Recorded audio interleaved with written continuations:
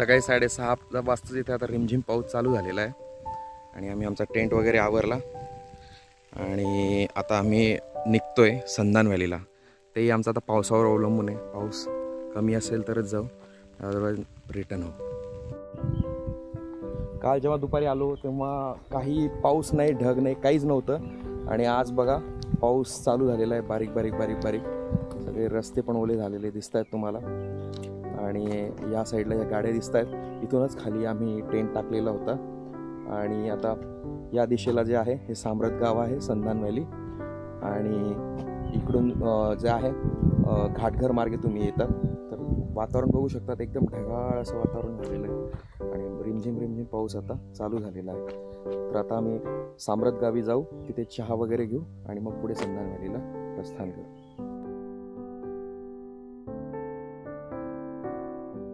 इथूनच सांदनदरीला आतमध्ये जावं लागतं.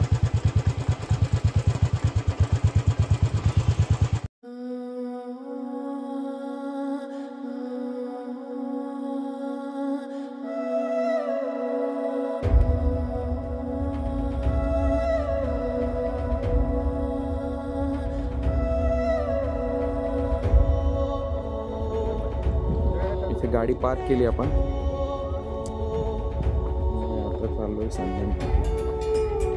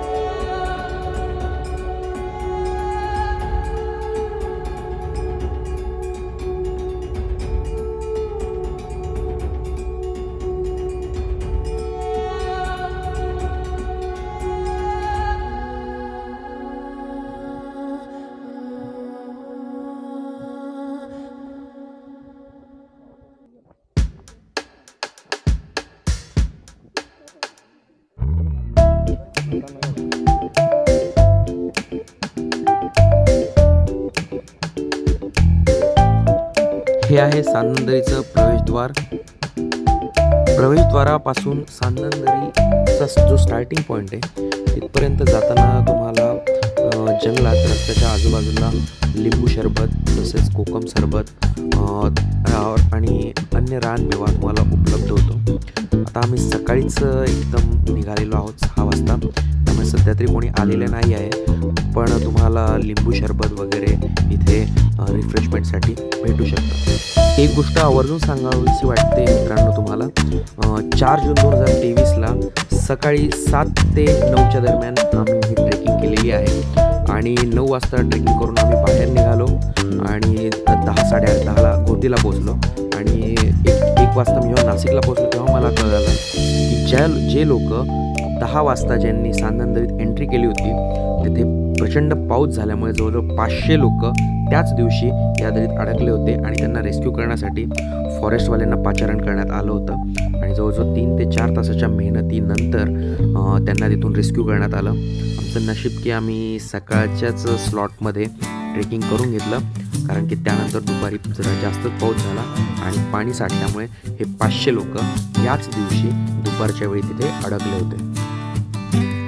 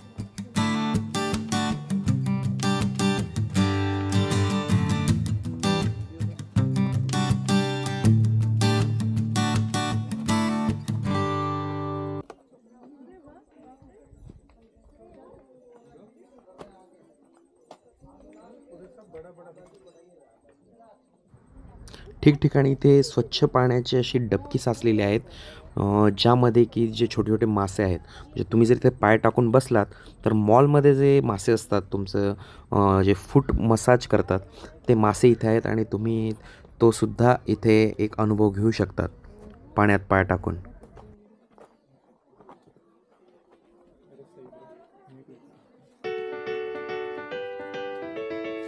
सुमित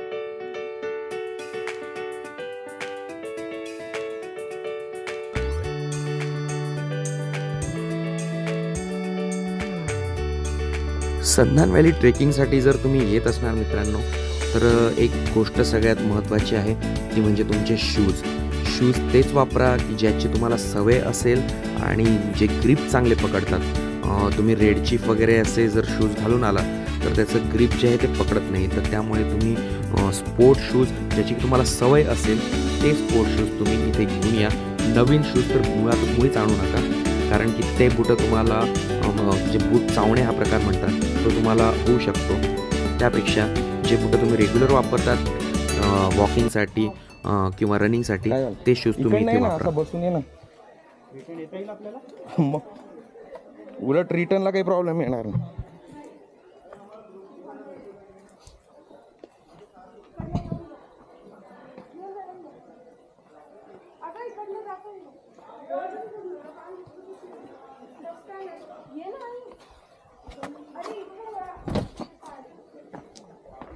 संधान व्हॅलीलाच शॅडो व्हॅली असेही म्हटले जाते. हिची जी डेप्थ आहे या व्हॅलीची जवळजवळ दोनशे फीट एवढी आहे आणि दीडशे किलोमीटर याची एक ॲप्रॉक्झिमेटली लांबी आहे.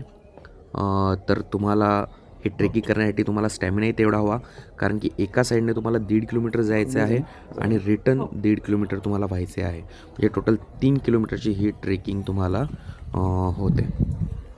ट्रेकिंगचा तो रस्ता आहे तो पूर्णपणे दगडांनी असा व्यापलेला आहे. त्यामुळे तुम्हाला एक एक पाऊल एकदम सांभाळून टाकावे लागते.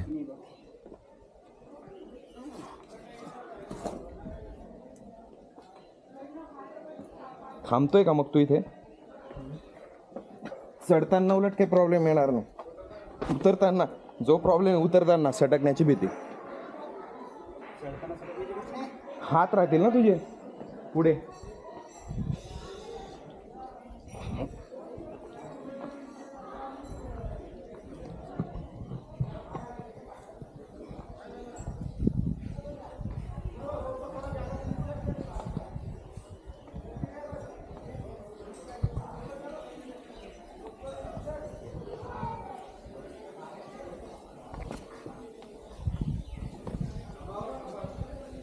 जात नाही खाली?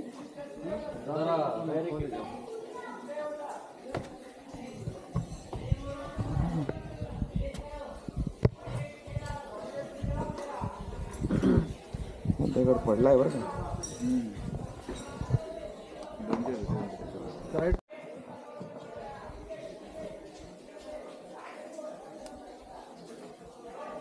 पावसाळ्यात तर पूर्ण पाणी राहत असेल इथे. हो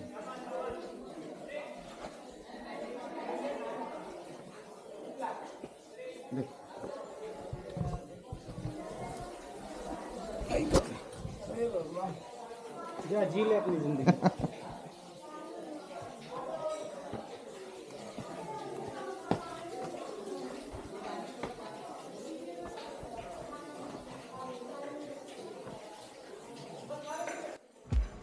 पावसाळ्यात या दरीमध्ये पूर्णपणे पाणी असते.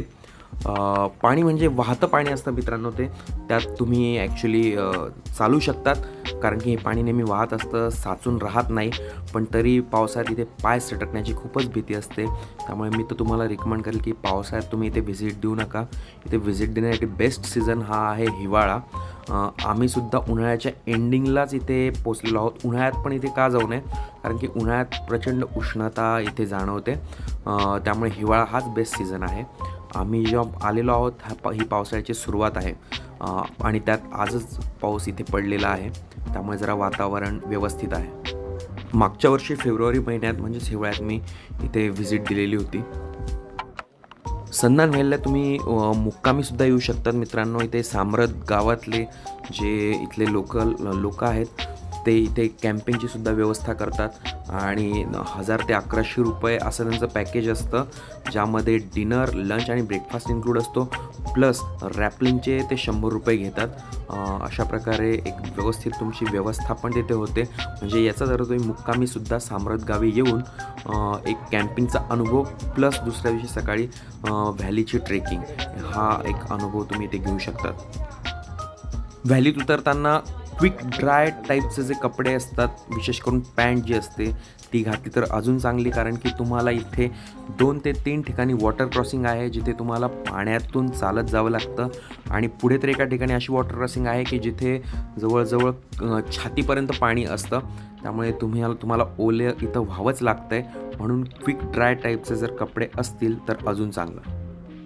इथे पाण्यात उतरण्याआधी मी माझे शूज काढून घेतले त्याचप्रमाणे सॉक्स पण काढलेत. आणि खूप सावधपणे या पाण्यातून जावं लागतं.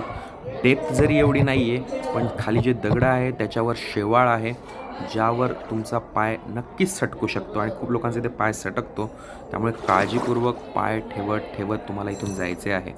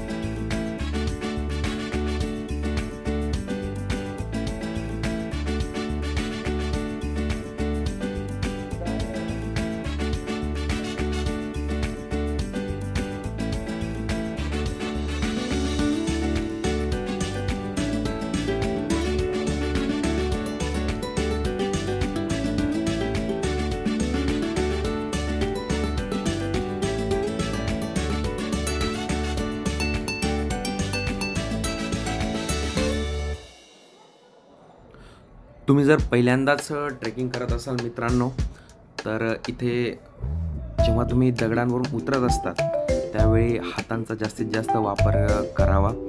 आणि जिथे तुम्हाला भीती वाटत असेल उतरताना आणि काही ठिकाणी जी डेप्थ आहे उतरताना जी स्टेप आहे ती खूपच मोठी असते. त्या ठिकाणी तुम्ही सीट दगडावर टेकूनसुद्धा सरकत सरकत उतरू शकतात. त्यामुळे इथे जास्त शायनिंग मारण्याचा प्रयत्न करू नये कारण की त्या चक्करमध्ये तुम्ही पाय सटकून पडण्याची शक्यता जास्त आहे. त्यामुळे आरामात टेकत टेकतसुद्धा उतरला तरी काही हरकत नाही.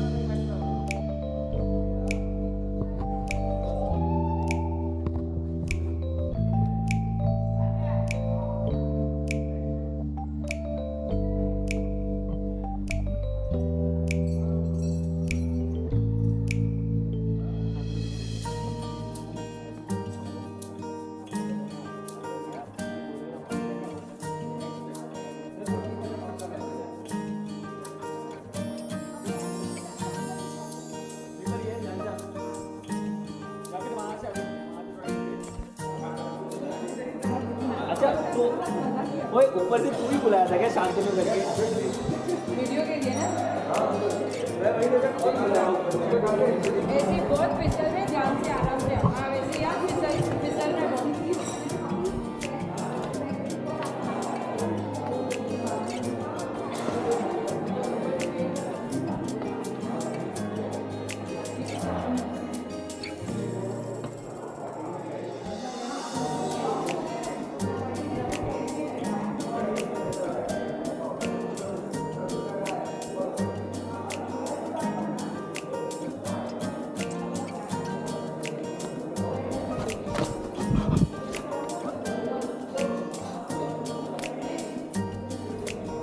जसे जसे तुम्ही व्हॅलीत पुढे जातात तशी तशी ही दरी जी आहे ती निमुळती होत जाते मित्रांनो. आणि आता ऑलमोस्ट आपण थ्री फोर्थ जो टप्पा आहे ट्रेकिंगचा तो पार केलेला आहे. आणि पुढे एक अजून मोठी अशी वॉटर क्रॉसिंग आहे. ती क्रॉस केल्यानंतर आपण शेवटच्या टप्प्यात पोहोचूया.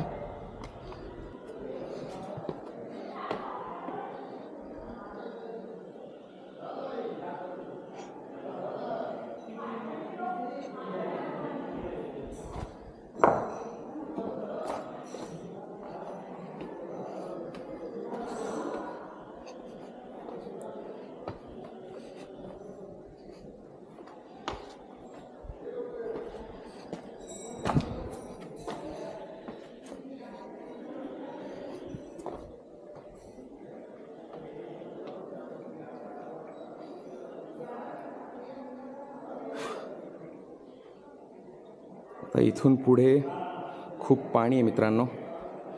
त्यामुळे इथून जाणं सेफ नाही आहे आणि कोणी दिसत पण नाही इकडे.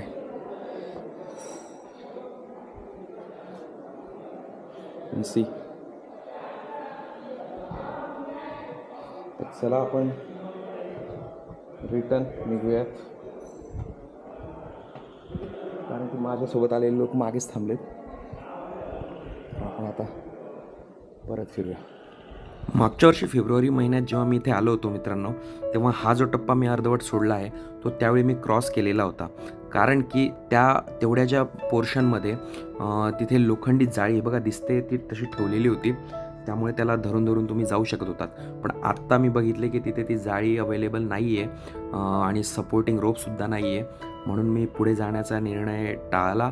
पण लास्ट इयर uh, जेव्हा मी गेलो तेव्हा मी थेट शेवटपर्यंत ट्रेकिंग पूर्ण केली होती. त्याचंच हे काही पिक्चर्स तुम्ही पाहू शकतात. त्यावेळी मी व्लॉग बनवत नव्हतो त्यामुळे व्हिडिओ माझ्याकडे उपलब्ध नाही आहे तेवढे पण स्टील फोटोंच्या थ्रू तुम्ही uh, पुढील टप्पा पाहू शकतात.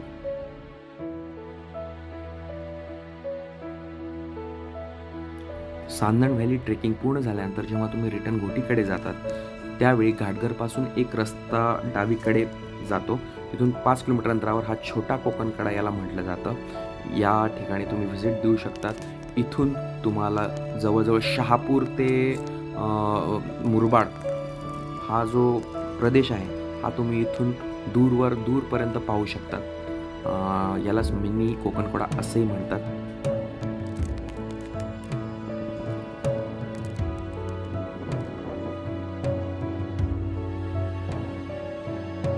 हा घाटकर डॅम आहे. सांदण व्हॅली ट्रेकिंग पूर्ण केल्यानंतर काही लोक हे घाटघरकडून न जाता रतनगड मार्गे रंधा धबधबा बघून मग शेंडी गावाला शेंडी गावापासून परत घोटीकडे जातात. तर तिथे तुम्हाला रतनगड रतनवाडीच्या इथे जे मंदिर आहे ते सुद्धा तुम्ही बघू शकतात. व्हिडिओ आवडल्यास शेअर करा लाईक करा आणि सबस्क्राईब करा. थँक्यू